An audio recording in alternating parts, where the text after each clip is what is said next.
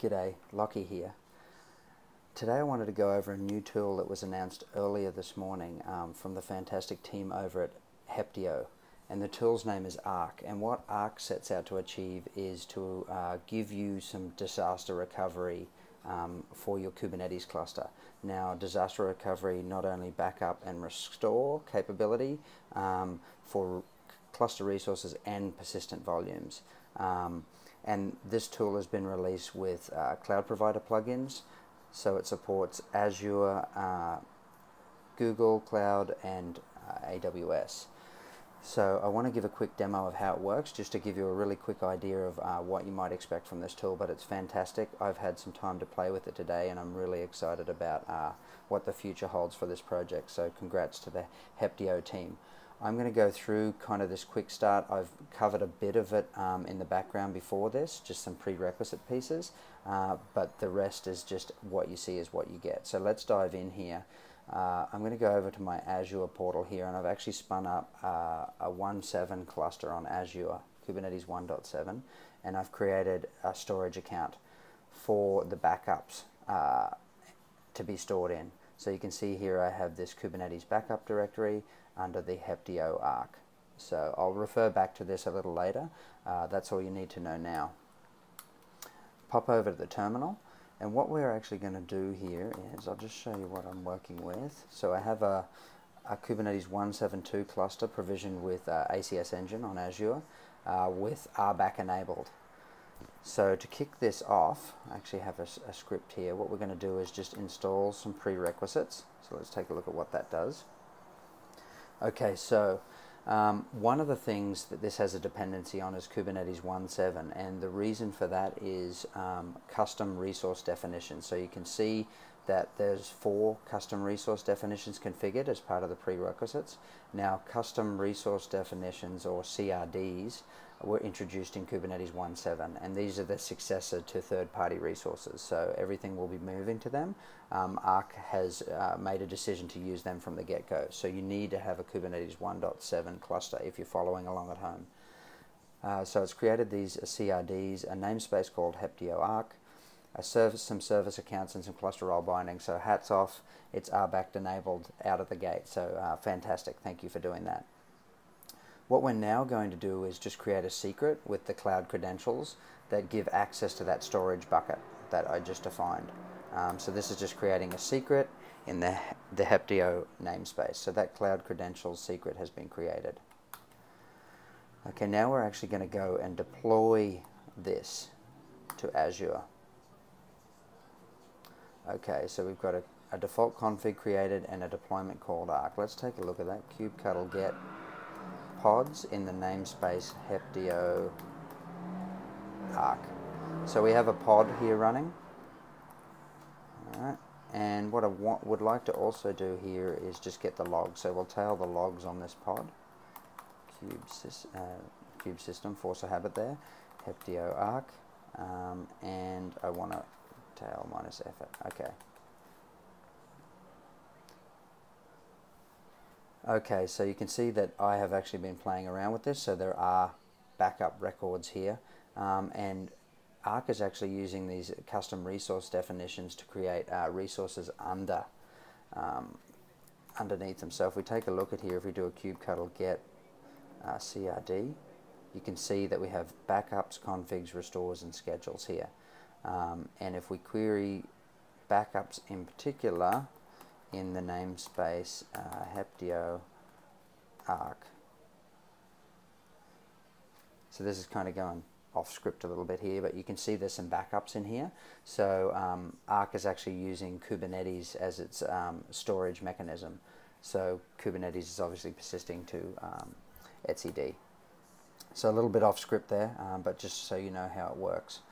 So we have what we've done so far, just to, just to recap, is we've installed the prerequisites and we've actually installed, installed the controller, um, the Ark controller, that listens on these custom resource definitions. So we're actually ready to deploy something now.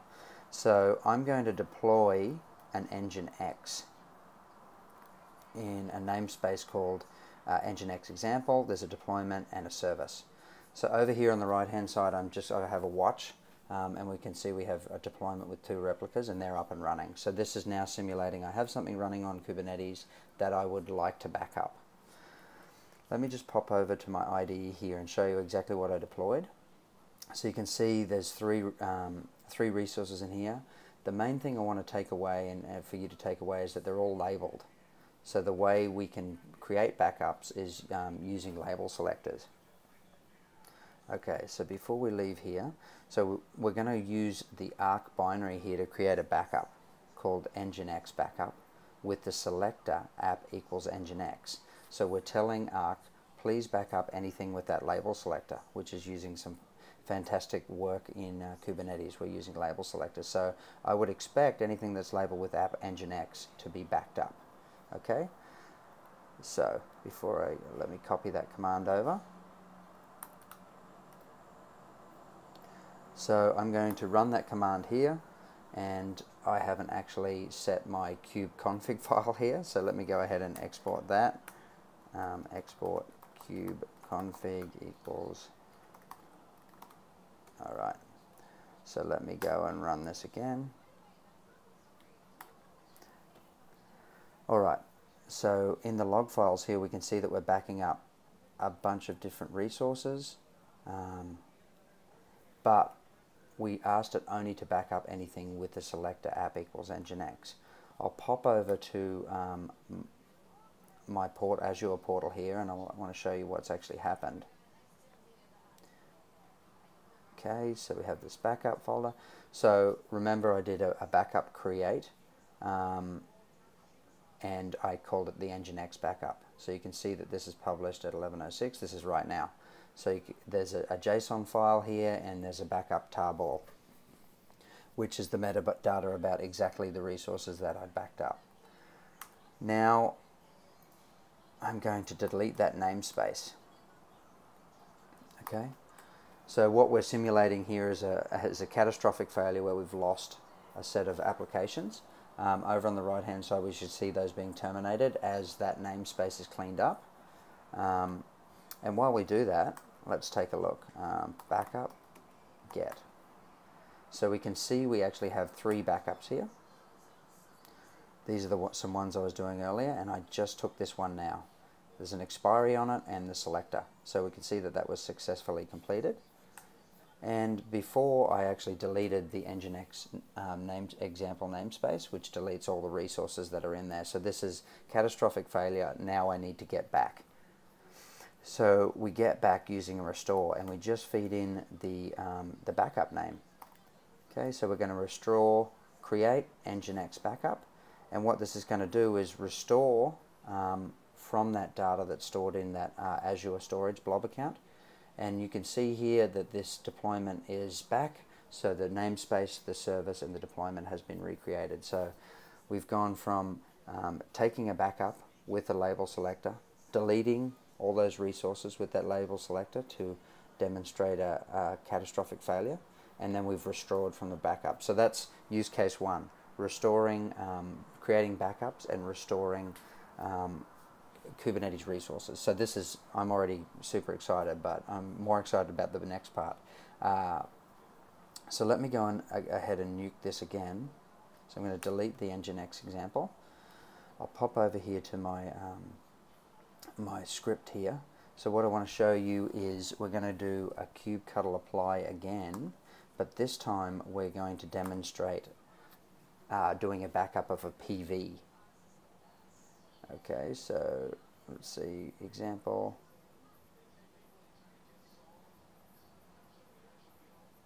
Oh, so the, the reason this is errored is because I've tried to put it in the namespace which is currently being deleted. So let me just run this again. Was a little too quick there. Okay, so we can see we've got a namespace, we've got a PVC, a deployment and a service. So this is very similar to last time. Um, I've actually just pinned down um, the replicas to one just to demonstrate one. And what we should see here, if we open up kubectl get PVC and comma PV in the namespace nginx example. So we've asked for this premium uh, managed premium storage class, so this is in pending state now. So while that volume gets spun up and attached to uh, that pod, we can take a quick look over in the portal um, and, and see if I can actually see that PV. Right, so you can see this is actually being provisioned now. Here's this dynamic uh, managed disk being spun up. All right. Oh, still impending. That must have been the last demo I did and I didn't actually delete it. Okay, so there's another one being spun up here. Okay, no it is it. 437B, so that's it, it's attached. We're now in container creating and we should go to running pretty quickly. So this is modeling, I have an Nginx with a persistent volume. Um, we're going to actually back up the persistent, vol persistent volume here. Container creating. Now, under the hood here, what happens with the persistent volume backups is it actually takes a snapshot of a point in time of that persistent volume um, on the provider. So I'm using Azure, it's telling Azure to take a snapshot of that persistent volume that's been created there. So once this goes to running, uh, we'll put some log files in. Now this is fantastic because if anybody deletes anything from a persistent volume, if you have a snapshot, you can restore that snapshot that state of that um, persistent volume to that point in time, which is fantastic. I think a lot of people are going to be excited about that. Okay, let's let's go and have a look. Okay, so we're in running now. Okay. So what I'm going to do is pop over my script here. We need to actually label it because by default uh, we're using label selectors. So we want to get the PV name here um, and we're going to label that PV with app equals nginx because remember again we want to do a backup on labels so we need to search that label selector app equals nginx.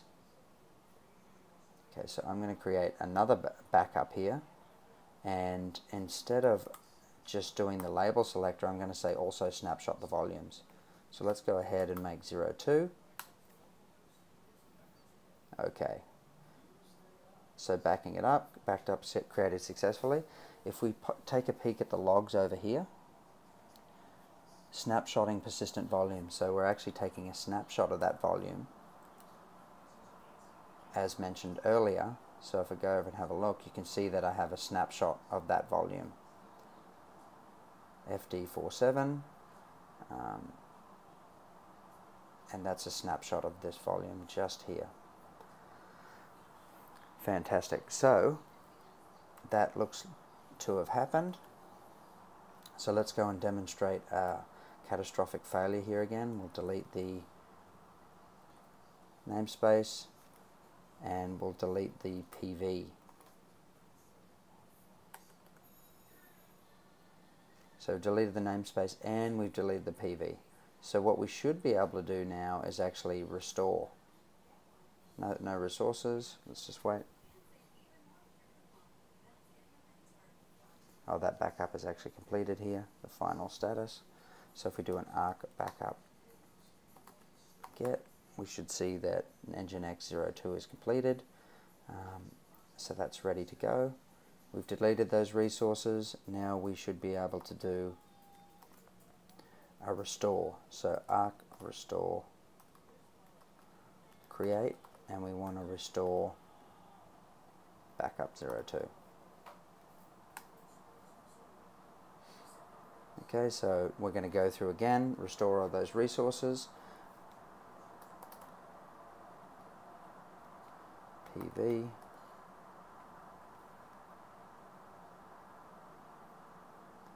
And now we can see we're actually restoring from that snapshot. It's in pending state.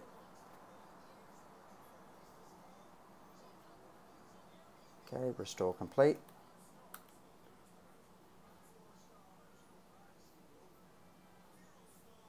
So we've actually gone back to that point in time that we took the snapshot.